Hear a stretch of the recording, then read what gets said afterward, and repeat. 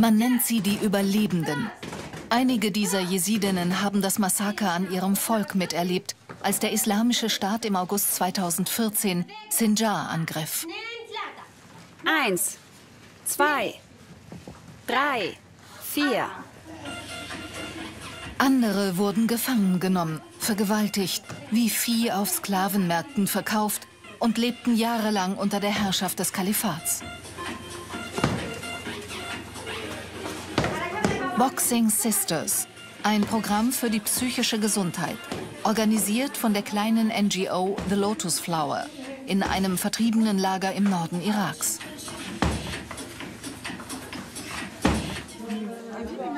Alle Betreuerinnen hier sind Jesidinnen, Überlebende, die heute ausbilden. Erzählt uns mal, warum ihr zu diesem Kurs kommt und was er euch bringt. Wir müssen diese furchtbaren Erlebnisse wieder loswerden. Es macht uns Mut, dass wir uns nicht zerstört fühlen. Wir lieben diese Ausbildung.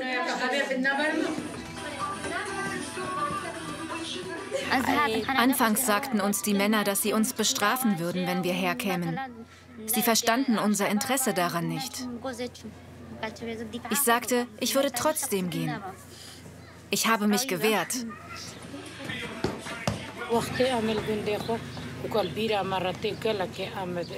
Wenn ich an unser früheres Leben im Dorf denke, tut das sehr weh. Wir waren alle zusammen, hatten viele gute Zeiten. Es war schön. Bei meinen Nachbarn wurden 24 Personen gefangen genommen und nur vier kehrten zurück. Vier.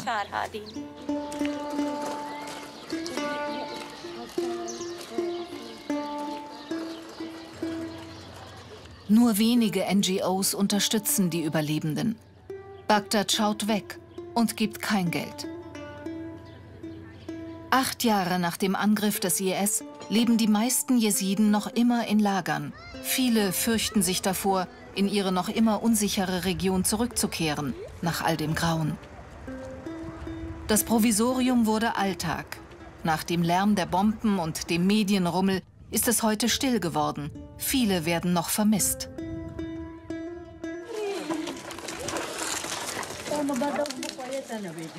Doch in einem Dorf nahe des Lagers geschieht ein kleines Wunder. Rosa sieht nach acht Jahren beim IS ihre Familie wieder.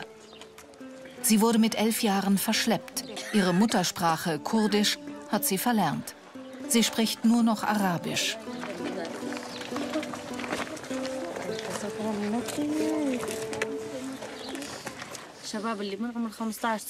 Unverheiratete Jungen über 14 Jahre wurden mitgenommen. Und wir Mädchen ab 11 Jahren wurden alleine beiseite genommen. Und die Familien, die Ehemänner, ihre Frauen und ihre kleinen Kinder waren noch in einer anderen Gruppe.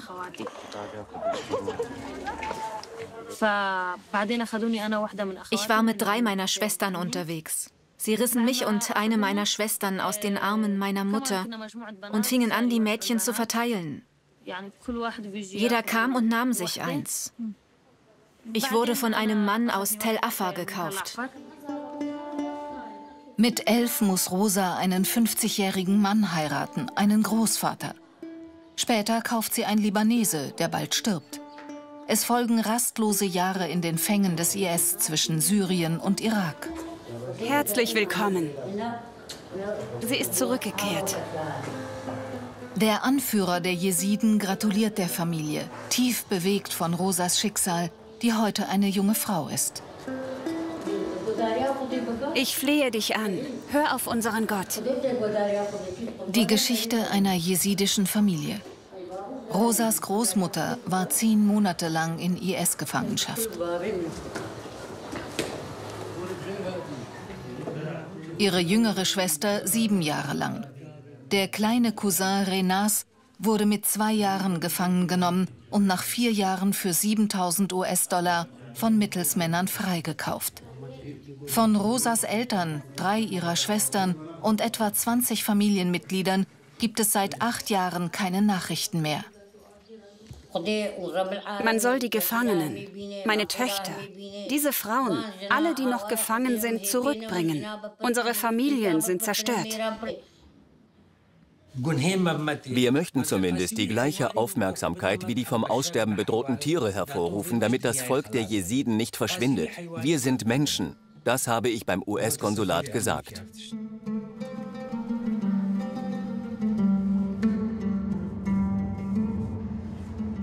Rosa reist mit ihrer Familie nach Lalisch, dem heiligen Ort der Jesiden.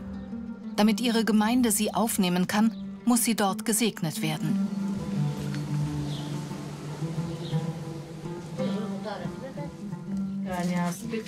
O weiße Quelle, reinige sie, hinterlasse in ihr deine Spuren.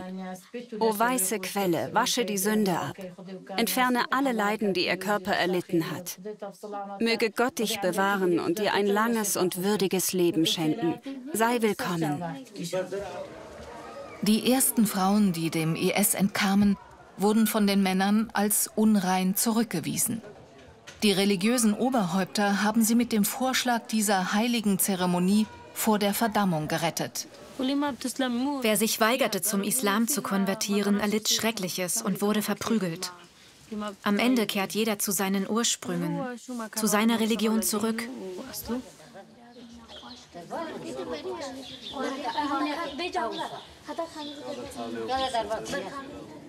Die Jesiden erlitten viele Massaker in ihrer Geschichte.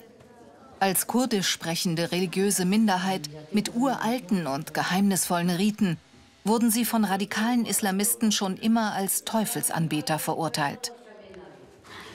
Gott rette unsere Leute aus den Händen des IS.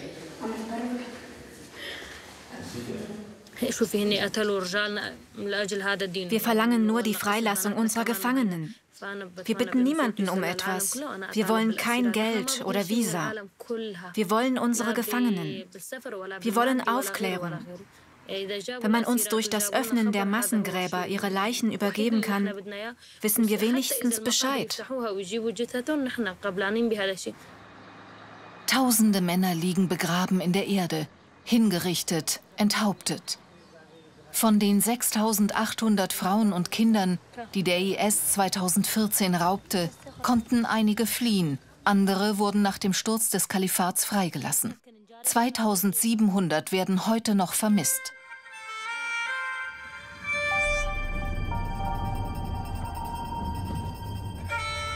Einige von ihnen könnten in Rojava leben, dem Kurdistan Syriens.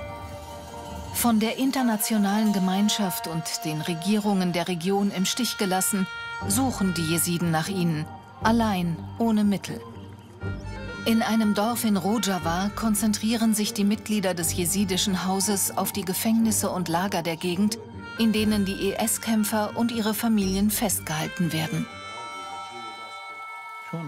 Wir haben diese Frau dank eines Freundes aus dem jesidischen Haus retten können. Sie hat letzte Woche geheiratet. Diese freiwilligen Retter haben schon über 400 Frauen und Kinder befreit, die unter den gefangenen IS-Kämpfern gelebt haben. Sie nahmen auch Rosa auf, bevor sie ihre Familie wiederfand. Die Frau, die wir neulich befreit haben, Rosa, Sie haben von ihr gehört. Sie hat uns erzählt, dass sich zwei, die wir gesucht haben, in die Luft gesprengt haben. Diese Jesiden haben Selbstmordattentate verübt. Der IS hat sie einer Gehirnwäsche unterzogen und sie sogar glauben lassen, dass die Jesiden ihre Familien getötet haben. Sie verdrehen die Wahrheit und treiben sie in den Selbstmord. Ihre Familien schicken uns Fotos und sagen, wir nehmen an, sie sind im Al-Hol-Lager. Dann nehmen wir Kontakt mit den Wärtern und der Lagerverwaltung auf. Wir gehen ein paar Mal hin, schauen uns um und wenn wir die Person, die wir suchen, gefunden haben, holen die Wärter sie raus. Sie arbeiten mit uns zusammen. Je mehr Zeit vergeht, desto mehr spannen wir sie ein. Die Lage in Al-Hol ist derzeit sehr instabil. Wir warten nun darauf, dass sich alles wieder beruhigt.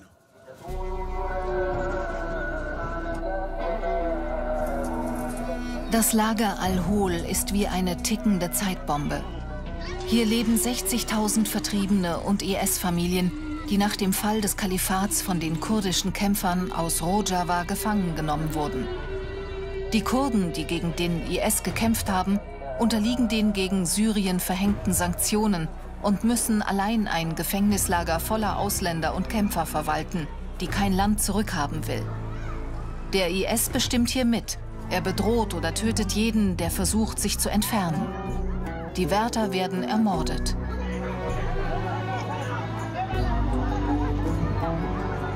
In diesem Sumpf der Gewalt suchen die Retter immer wieder nach Gefangenen, die dorthin verschleppt wurden, unter ihren Peinigern leben, in die Armee mussten, terrorisiert wurden. Und nach Kindern, die heute anders aussehen. Dieses Mädchen heißt Marwa. Wir suchen sie immer noch. Wir erkennen sie an ihrem Mund. Es sieht aus, als hätte sie Muttermale um den Mund herum. Darauf konzentrieren wir uns. Man versucht die Fotos aus der Kindheit mit aktuellen zu vergleichen oder sich vorzustellen, wie diese Kinder heute aussehen könnten. Manche Geschwister lassen sich das gleiche Tattoo stechen, um sich wiederzufinden. Auf diesem Foto von 2014 ist das Mädchen sieben oder acht Jahre alt. Sie und ihr Bruder haben sich gesagt, wir wissen nicht, was kommt, aber es wird uns in den nächsten Jahren helfen, uns wiederzuerkennen, damit wir uns nicht verlieren.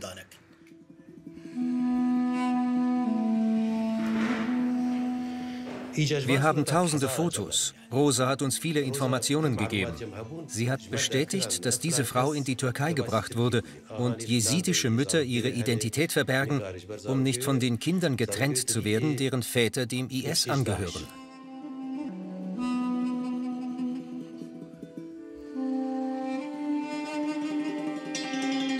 Irgendwo in Rojava, an einem Ort, der aus Angst vor IS-Angriffen geheim gehalten wird, steht ein Waisenhaus.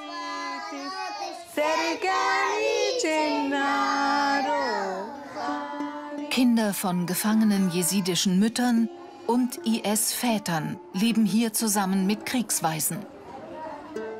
Wie heiße ich? Mama Ministerin.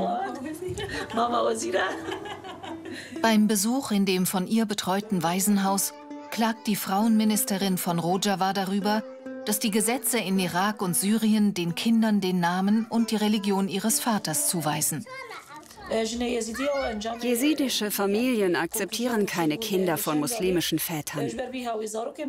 Sie nehmen ihre befreiten Töchter in Empfang und sagen, aber das sind nicht unsere Kinder.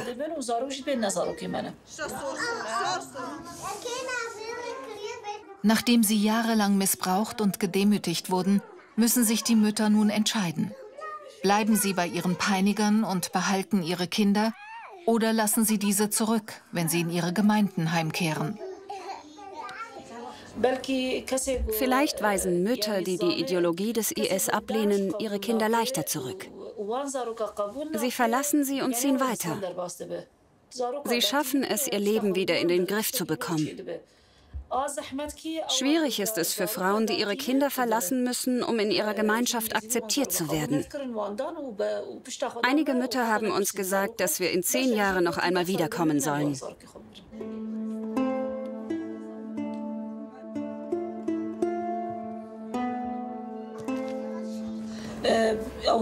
Uns bereitet die Zukunft dieser Kinder Sorgen. Hier in Rojava verwalten sich die Frauen selbst.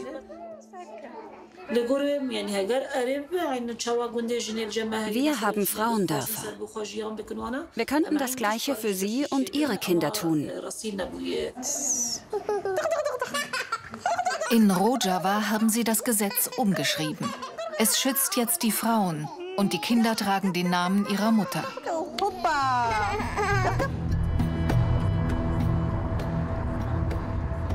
Es ist eine lange und beschwerliche Reise nach Sinjar, dem Land der Jesiden. Bagdad hat die Grenze abgeriegelt. Sie bauen dort eine 600 Kilometer lange Mauer. Und die kurdischen Behörden in Irak kontrollieren eifersüchtig den einzigen Grenzübergang am Tigris. Von Duhok aus warten auf 200 Kilometern 16 Checkpoints bis Sinjar, der Region der Jesiden, Sie wird streng bewacht, ist fast unzugänglich. Die Einfahrt in die Hauptstadt erzählt viel über die Jesiden heute.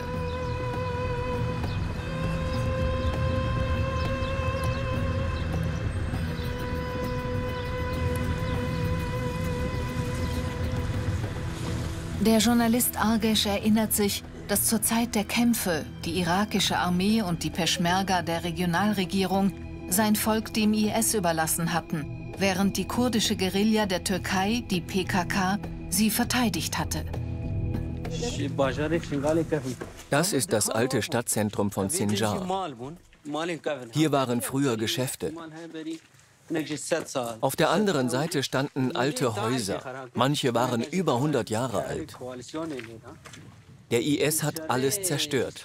Wir haben Straße für Straße gekämpft. Das ist eine Geisterstadt. Heute versuchen dieselben verrufenen irakischen Streitkräfte durch Drohungen die Kontrolle über das Gebiet zu erlangen. Es gibt keinerlei Unterstützung für die Rückkehr der Jesiden in ihr Land. Dieses Mal führen die Frauen ihren Widerstand an.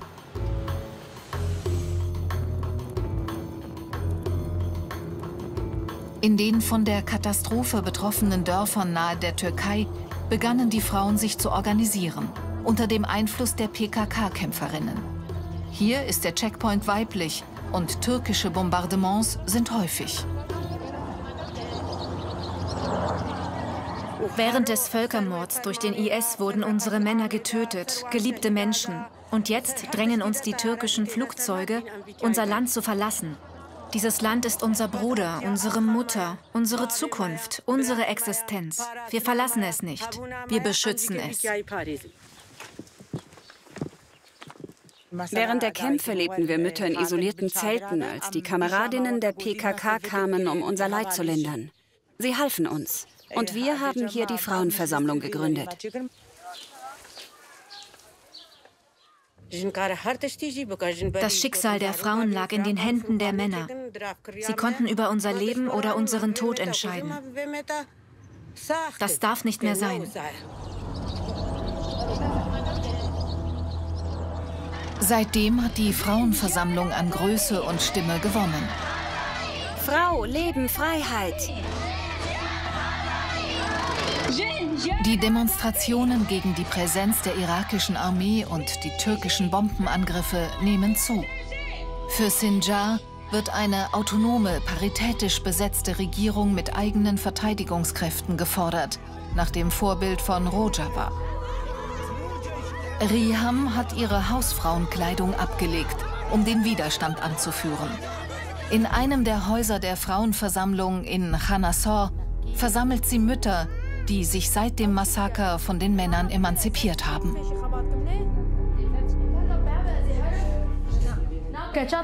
Was macht deine Schwägerin? Sie ist zu Hause.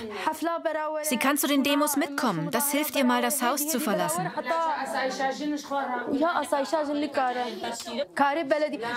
Wir können in den nächsten Tagen jede einzelne für unsere Frauenschutzeinheiten brauchen. Unser Rathaus braucht viele helfende Hände, um die Arbeiten in der Stadt zu erledigen. Mein Mann kann seine Arbeit nicht wieder aufnehmen. Dein Mann. Wie hast du es denn geschafft, dass er dir erlaubt hat, herzukommen? Er achtet derzeit nicht mehr darauf. Mein Onkel hat gesagt, wenn ich dich noch einmal im Fernsehen sprechen sehe, wirst du schon sehen, was ich mit dir mache. Kannst du mir zeigen, was du gefilmt hast, als wir in der Versammlung waren? Ja, es ist im Archiv. In dieser Frauenbewegung spielen Mütter und Großmütter eine Schlüsselrolle. Jade Scheme, Mutter Scheme, steht in der ersten Reihe. Diesmal versucht sie, die irakische Armee aufzuhalten, die wieder einmal die Region besetzen möchte. Nicht filmen. Sie filmen doch auch. Wir haben den Befehl, dieses Gebiet zu kontrollieren. Also bitte. Wollt ihr mit den gepanzerten Fahrzeugen in den Krieg ziehen? Was ist los? Sie wollten das Dorf Misa besetzen. Sie versuchen seit sechs Jahren, unsere Region zu kontrollieren. Dabei ist doch das Blut unserer Kinder noch nicht einmal getrocknet. Auch wenn unser Blut fließt, werdet ihr nicht durchkommen. Auch wenn sie mir die Augen ausstechen, werden sie nicht durchkommen. Ich bin der irakischen Armee bekannt. Wenn sie mich erwischen, sperren sie mich ein. Ich kann nirgendwo mehr hin. Weder in den Norden noch in den Süden. Unsere Feinde stellen Videos auf Facebook und TikTok. Sie führen einen psychologischen Krieg gegen uns, indem sie gefakte Videos veröffentlichen, die unsere Frauen lächerlich machen, damit sie aufgeben.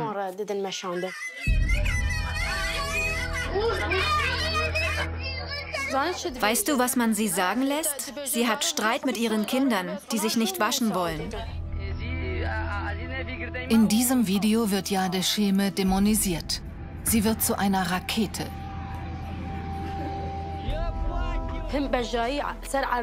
Wir werden an zwei Fronten angegriffen. Auf dem Land von der irakischen Armee und von den türkischen Geheimdiensten, die uns bedrohen. Wir haben Freunde, die einen direkten Anruf vom türkischen Geheimdienst erhalten haben. Ihnen wurde am Telefon gedroht, man würde sie töten. Trotz all dieser Angriffe, Drohungen, trotz der Jobs, die sie uns anbieten, trotz all der Abschreckungstechniken ist der Wille der Frauen stärker als alles andere.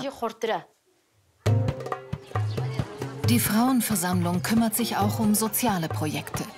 Sie hat eine Cafeteria für Familien eröffnet, weg von den reinen Männercafés, einen Park für Kinder gebaut und Arbeitsplätze für Frauen geschaffen, die noch nie gearbeitet haben.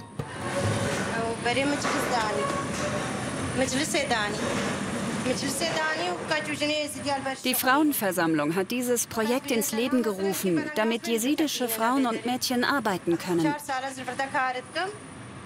Wir verteilen 300 bis 400 Brote pro Tag kostenlos an die Armen.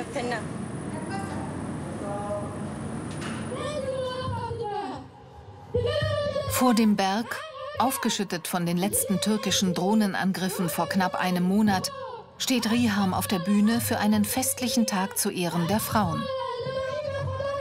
Es lebe der Widerstand der Frauen!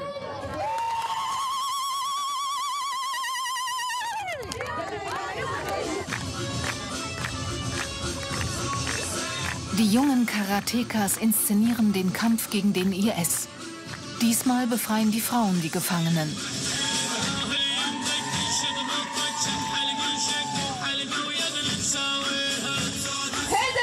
Schließen wir uns zusammen für ein freies Leben. Ein Leben in Würde und ein Land, an das wir glauben. Wir alle sind mächtige Frauen. Leben in Freiheit! Der Völkermord war auch ein Auslöser für die Emanzipation der Frauen in einer ultrakonservativen Gesellschaft. Einige von ihnen griffen auch zu den Waffen. Achin ist ihre Kommandantin. Frauen, die entführt und auf dem Markt verkauft werden sollen. Das war einmal. Jetzt sind die Frauen bewaffnet. Wenn sich die Frauen weiterentwickeln, verändert sich auch die Gesellschaft. Männer sind dann gezwungen, sich zu ändern. Die Frauen akzeptieren keine Dominanz mehr oder dass die Gesellschaft ihnen etwas auferlegt. Angegriffen von allen Seiten von der internationalen Gemeinschaft ignoriert, allein auf der Suche nach ihren Gefangenen beim IS. Eigentlich wollen die Jesiden doch nur zurück in ihre Heimat.